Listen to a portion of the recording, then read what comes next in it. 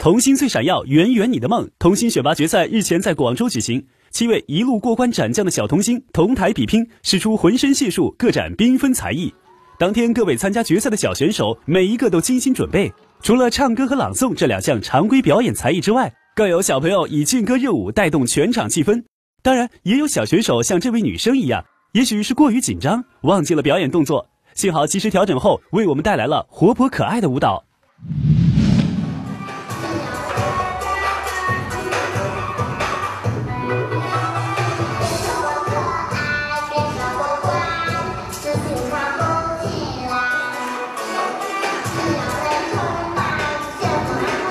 台上比赛异常激烈，现场亲友团也在卖力比拼，为自家的小朋友摇旗呐喊。最终，三号小选手张艺云摘得桂冠，而六号郑凯若和一号廖源这两位小朋友则分获亚军和季军。